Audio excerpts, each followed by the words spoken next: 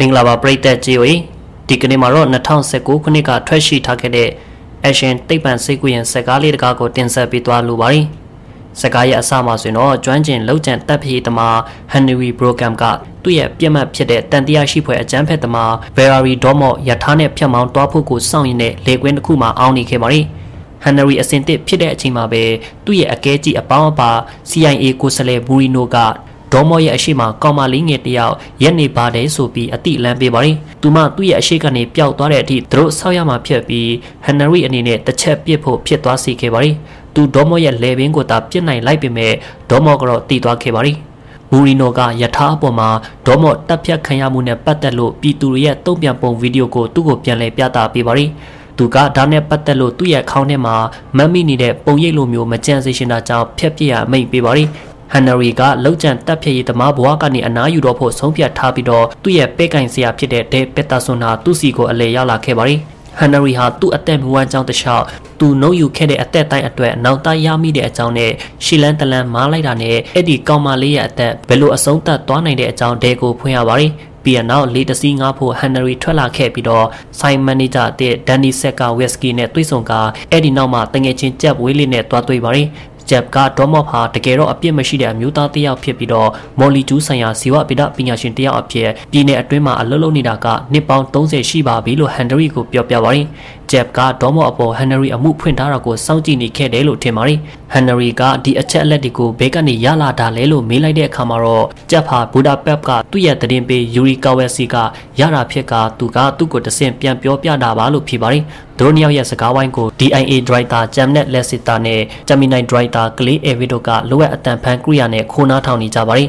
ကလေးကဟန်နရီကိုကင်တွယ်ဖို့အတွက်နီလန်းရှာဖွေရန်လက်စစ်တာကိုအမိန့်ပေးပါတယ်ဟန်နရီဟာဆိုင်ထဲပြန်လာပြီးတော့ဒန်နီ DIA နဲ့အလုံးလုံးနေကသူ့ရဲ့အနောက်လိုက်နေတယ်လို့တန်တရားဖြစ်မိပါတယ်သူမကငင်းဆိုပြီးတော့ဟန်နရီကယူးကြကြောင်လူတယောက်လိုခံစားလိုက်ရပါတယ်ဒါကြောင့်အရှက်ပြေအနေနဲ့သူမကိုညစာအတူစားဖို့ဖိတ်လိုက်ပါတယ်သူတို့ညစာစားနေကြစဉ်အတွင်းဒန်ဒီဟာ DIA တယောက်ဖြစ်တယ်ဆိုတာတီရှာသိလိုက်ရပေမဲ့သူမကသူမသူမရဲ့ FBI official အတိုင်းလိုက်ပါနေခဲ့တာပါလို့ပြောပါတယ် ဟန်နရီကသူအနားယူမဲ့အကြောင်းပြောပြပြီးတော့သူဒီဘဝကိုဘာကြောင့်ရှမ်းရထားခဲ့ရှင်တဲ့အကြောင်းရှင်းပြပါရီ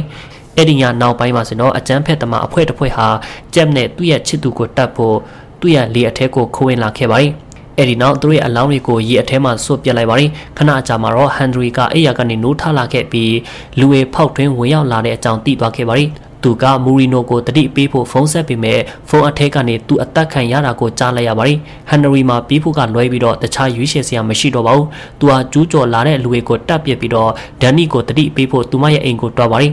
သူမကဒီအကြောင်းမတိပုံပေါ်နေခဲ့တာကြောင့်သူမကဒီကိစ္စမှာမပါဝင်ပဲနဲ့သူမကလည်းနောက်ထပ်ပြစ်မှတ်ဖြစ်သွားနိုင်တယ်လို့သူကစဉ်းစားမိပါတယ်။ဒန်နီကိုတယောက်တည်းခဏထားခဲ့တော့သူမကကြီးစားတယောက်ရဲ့တိုက်ခိုက်တာကိုခံခဲ့ရပါတယ်။ဒါပေမဲ့သူမဟာအတာစီရသွားခဲ့ပြီးတော့သွားအချို့နဲ့အတူသူ့စီကတည်င်းနိုင်ထုတ်နိုင်လိုက်ပါတယ်။ လက်စစ်တာကသူ့ကိုလွတ်လိုက်တာဖြစ်တယ်ဆိုပြီးဒန်နီကဟန်နရီကိုအတီးပြုတ်ပေးလိုက်ပါတယ်ဟန်နရီရဲ့လေယမှုတငယ်ရှင်ဘယ်ရွန်ကသူတို့ကိုရှာတွေ့ချိန်အထိဒန်နီနဲ့ဟန်နရီတို့ဟာမထင်ရှားတဲ့နေရာတစ်ခုစီလေးနဲ့တွားပါတယ်ဘာတွေဖြစ်နေတာလဲဆိုတာကိုသိရဖို့အတွက်ဟန်နရီကဒဲကိုဖုန်းဆက်ပါတယ်သူတို့ရဲ့အေဂျင့်တွေကိုရှင်းပြဖို့ဂျမီနိုင်က DIA နဲ့လက်တွဲလုပ်နေတယ်လို့ဒဲကသူ့ကိုပြောပြပါတယ် ဖြစ်ပုံကဒေါမော့ဟာဂျမီနိုင်နဲ့တွဲလုံနေခဲ့တာဖြစ်ပြီးတော့ကလေးရဲ့ပါဝင်ပတ်သက်မှုကိုဟန်နရီကသိသွားပါတယ်။ဂျမီနိုင်နဲ့ပတ်သက်ပြီးဘာတိတယ်လဲလို့ဟန်နရီကဒန်နီကိုမေးမြန်းပါတယ်။သူဟာကလေးကဦးစီးတဲ့လက်နက်ကင်အဖွဲ့တစ်ခုတာဖြစ်ပါတယ်။ကလေးဟာမရိစစ်သားဘဝကလေးကသူ့ကိုတီးကြတဲ့ဟန်နရီနဲ့ဘယ်ရုံကိုသူနဲ့ပူးပေါင်းဆေရှင်ခဲ့ပြီးတော့နေအောင်လုံးကငင်းဆိုခဲ့တာပါ။ ဂျမီနိုင်ကတီးတန့်ပြစ်မှတ်တွေကိုအစွမ်းကိုလိုဝက်တိုသိမ့်စွာရှင်းလင်းရမှာအထူးပြုလုပ်ကင်ပါတယ်။သူတို့၃ယောက်ကကာတေဟန်နာမြို့မှာယာယီတွားနေကြပါတယ်။သူတို့ရဲ့ဟိုတယ်အခန်းထဲမှာကက်လျခေါင်မိုးတွေပေါ်ပြေးလွှားနေတဲ့တနတ်သမားတစ်ယောက်ကိုဟန်နရီကမြင်မိလိုက်ပါတယ်ဟန်နရီဟာအပြင်ကိုပြေးထွက်သွားခဲ့ပြီးတော့တနတ်သမားကိုစပစ်ခဲ့ပါတယ်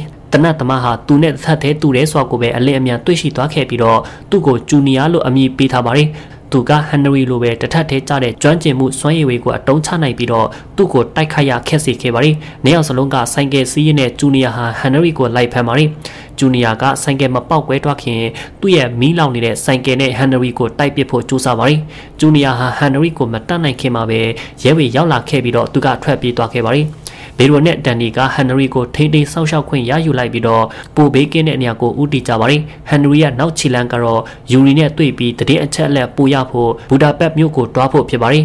ဘယ်ရွန်ကသူတို့ကိုဘူဒါပက်မြို့စီပို့ပေးဖို့လေရင်ငားပေးမဲ့လူတယောက်ကိုရှာပါတယ်ဂျူနီယာကသူ့ရဲ့ဒဏ်ရာတွေကိုကုတဖို့သူ့ရဲ့ခွောင်းအိမ်ကိုတွားပါတယ်သူ့ကိုတားလို့တဘောထားတဲ့ကလေးနဲ့ဂျူနီယာကဆုံခဲ့တာပါဂျူနီယာကသူ့ရဲ့တိုက်ခိုက်မှုတွေနဲ့လှုပ်ရှားကွက်တွေကိုရှောင်သိမ်းနိုင်တဲ့ဟန်နရီကိုသူအလွန်အံ့ဩရတဲ့အကြောင်းထုတ်ပြောပါတယ်ဒါပေမဲ့သူကသူ့ရဲ့ပြစ်မှတ်ကိုတေချာမကြည့်ခဲ့ပါဘူးဂျင်မီနိုင်အဖွဲ့ရဲ့တခြားသောအဖွဲ့ဝင်တွေဖျက်တမ်းရတဲ့လေ့ကျင့်ရေးတွေကိုကလေးကဂျူနီယာကိုပြသပါတယ်ဒန်နီကဟန်နရီရဲ့ DNA နမူနာကိုသူမပုတ်ခဲ့ကြောင်းထုတ်ပြောပြီးဂျူနီယာဝတ်ထားတဲ့အုတ်ထုတ်ကသူဟာဟန်နရီရဲ့ကိုပွားဖြစ်တဲ့အကြောင်းဖော်ပြနေခဲ့ပါတယ်။သူ့ကိုတတ်ဖို့သူ့ရဲ့ကိုပွားကိုလွတ်လိုက်တဲ့အကြောင်းနဲ့ပတ်သက်ပြီးဟန်နရီကစိတ်ရှုပ်ထွေးသွားခဲ့ပါတယ်။သူတို့သုံးယောက်ဟာဘူဒါပက်မြို့ကိုရောက်ရှိပြီးတော့ယူရီနဲ့တွေ့ပါတယ်။သူကလည်းကလေးကိုစန့်ကျင်ကြောင်းထုတ်ပြောပြီးတော့ကိုပွား project ကိုဒေါမော့ဖာဂျမီနိုင်နဲ့တွဲလုပ်ခဲ့ကြောင်းပြောပြပါတယ်။သူကပိုတန်မာပြီးတော့ပုံညံကောင်းတဲ့ကိုပွားတွေကိုဒီဇိုင်းဆွဲတဲ့နေရာမှာကူညီခဲ့တာပါ။ဒါပေမဲ့အသိစိတ်နဲ့နာကျင်မှုမရှိတဲ့ကိုပွားစစ်သားတွေကိုကလေးကလိုရှင်ခဲ့တာပါ ဒေါမော့ဖာ project ကနေထွက်သွားခဲ့ပြီးတော့တုတ်တင်တပ်ဖြတ်ဖို့မှတ်တာပြုခံခဲ့ရပါတယ်ဟန်နရီကလက်စစ်သားကိုရှာဖို့စက်သားတယောက်ခေါ်လိုက်ပြီးသူမအကြောင်းသူ့အားလုံးသိတယ်လို့အတိပေးလိုက်ပါတယ်။ဒါကြောင့်သူ့ကိုတတ်ဖို့သူမကတရေရောက်ကိုလွတ်ရင်သူမစီကိုတရေရောက်အရင်ပြန်လွတ်မယ်လို့ဟန်နရီကပြောလိုက်ပါတယ်။ဒန်နီအမေရိကန်ကိုဘေကီကစ်နဲ့ပြန်ခွင့်ရအောင်သူ့စီဂျူနီယာကိုလွတ်လိုက်ဖို့သူမနဲ့ဆွေးနွေးရန်သူကကြိုးစားပါတယ်။ လက်စစ်စတာကဘူဒါပက်မြို့စီဂျူနီယာကိုလွတ်ဖို့စီစဉ်လိုက်ပြီးအဲ့ဒီနောက်သူကပန်းချန်အထက်မှာဒန်နီတယောက်ထင်းနဲ့ဆိုပါရီသူမနန်းကျုံမပတ်ထားတာတေချာအောင်သူမကိုဝတ်ချွတ်ဖို့သူကအမိန်ပေးပါတယ်။အဲဒီနောက်သူကသူမကိုကားအထက်ဝင်ခိုင်းပြီးတော့ဟန်နရီနဲ့ပိုနီးကတ်နိုင်ဖို့ဒီအကြောင်းဟန်နရီကိုအတိပေးလိုက်ပါတယ်။သူတို့ကတီးတက်နေရတစ်ခုမှတွေ့ဖို့တဘောတူကြပါတယ်။ကားစီးသွားနေတော့တူနီယာကသူ့ကိုမွေးထုတ်ခဲ့တဲ့အတိုင်းသွေးအေးလူသက်သမားမဟုတ်တဲ့အကြောင်းတက်တည်ပြဖို့ရန်ဒန်နီကဂျူနီယာကိုစကားပြောဖို့ကြိုးစားပါတယ်။ ဟန်နရီကိုတတ်ဖို့ဘာကြောင့်ကြိုးစားနေရတာလဲလို့တူမကသူ့ကိုမေးတော့ဂျမီနိုင်တပ်ဖြတ်ထားတဲ့တခြားအဖွဲ့ဝင်တွေကိုဟန်နရီကတတ်သွားတာလို့သူ့ကိုပြောထားကြောင်းဂျူနီယာကပြန်ဖြေပါတယ်ဟန်နရီကဂျူနီယာကိုဖမ်းလိုက်ပြီးတော့ဒန်နီကိုလွတ်ပြလိုက်ပါတယ်ဂျူနီယာကိုမတတ်ချင်တဲ့အကြောင်းဟန်နရီကပြောပေမဲ့လွတ်လာမယ်ဆိုရင်တော့တတ်ပြမယ်လို့ပြောပါတယ်ကလေးကတကယ်တကယ်မှဘလို့လူဖြစ်တဲ့အကြောင်းနဲ့ဂျူနီယာကဘယ်တူးစွာကိုလည်းတရရောက်ကိုမတတ်ဖြတ်နေရရင်သူတို့နှစ်ယောက်လုံးက ဘယ်လောက်ဟာတတာခန်းစားခဲ့ရတာလဲဆိုတာကိုထုတ်ပြောပြရင်းနဲ့ဟန်နရီကသူ့ကိုပြောပြပါတယ်ဂျူနီယာကသူဟာကိုပွားစွာကိုတီးသွားပေမဲ့မယုံကြည်ချင်ပါဘူးသူကဟန်နရီကိုတိုက်ခိုက်ပြီးတော့ဒန်နီချာမဝင်လိုက်ခင်မှာဟန်နရီကိုတတ်မိလူဒီပါဖြစ်သွားခဲ့ကသူကထွက်ပြေးသွားခဲ့ပါရီသူဟာဂျမီနိုင်ကိုပြန်သွားခဲ့ပြီးတော့သူကကလေးကိုအမှန်တရားအကြောင်းပြောပြခိုင်းပါရီကလေးကတကယ်ပြောပြပြီးတော့သူကဟန်နရီထက်ပိုတော်တယ်လို့ဂျူနီယာကိုအခိုင်အမာပြောပြပြီးသူဟာသူ့ရဲ့သားဖြစ်တယ်လို့ပြောပါရီအိမ်ပြန်ပြီးရနောက်ဂျူနီယာကဟန်နရီဒန်နီနဲ့ဘယ်ရိုနိုကိုရှာတွေ့ပါရီတို့နှစ်ယောက်လုံးပြောင်းရည်နဲ့ဓာတ်မတိတ်တာကိုတိပြီးဂျူနီယာကဟန်နရီကိုပြားအစိတ်နဲ့ပြစ်ပါရီဒါပေမဲ့အဲ့ဒီနောက်မှာပဲအက်ပီပန်ကိုမြ мян ထိုးပြလိုက်ပါရီကလေးကိုထောင်ရရက်တန့်ပစ်ဖို့ဂျူနီယာဟာသူတို့၃ယောက်နဲ့ပူးပေါင်းဖို့ဆုံးဖြတ်လိုက်ပါရီဂျူနီယာကသူ့ရဲ့ဘဝဟာဘလို့ဖြစ်ပျက်ခဲ့တာလဲဆိုတော့ကိုတိရဖို့ဟန်နရီဘဝအကြောင်းမေးခွန်းတွေထပ်မိပါရီ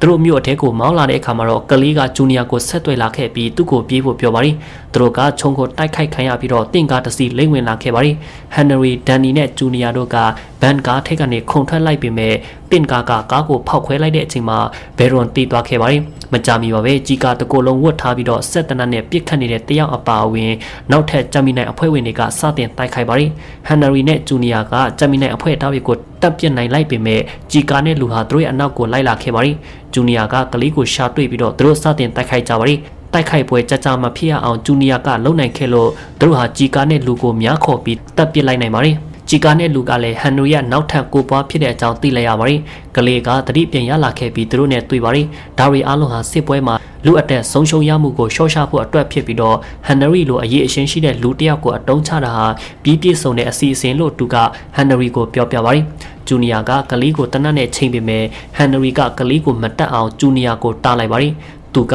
ဂျူနီယာကိုလူရဲ့တက်ရကနေရလာတဲ့စိတ်တရားမခံစားရစေရှင်လို့ဖြစ်ပါတယ်။အဲ့ဒီအစားဟန်နရီကကလေးရဲ့ရင်ဘတ်ကိုအပေါက်ဖောက်ပစ်လိုက်ဖို့ဆုံးဖြတ်လိုက်ပါတယ်။အချိန်တချို့ကြာတဲ့အခါမှာတော့ဂျမီနိုင်အဖွဲ့ရဲ့ program ကိုပိတ်ချလိုက်ပြီးပတ်ဝန်းကျင်မှာတွာလာနေတဲ့ကိုဘောတွေနောက်ထပ်မရှိတော့ပါဘူး။ဂျူနီယာကဟန်နရီအမေရဲ့မိသားစုနာမည်ကိုယူပြီးတော့ဂျင်ဆန်ဘရုတ်ကမ်နာမည်နဲ့ကျောင်းတက်နေတဲ့ကောလိပ်မှာဟန်နရီနဲ့ဒန်နီတို့ဆုံကြပါတယ်။သုံးယောက်သားအတူတူလမ်းလျှောက်ထွက်သွားခဲ့ကြပါတယ်။ကြည့်ရှုပေးကြကြပရိသတ်များအားလုံးကျေးဇူးအထူးတင်ရှိပါခင်ဗျာ။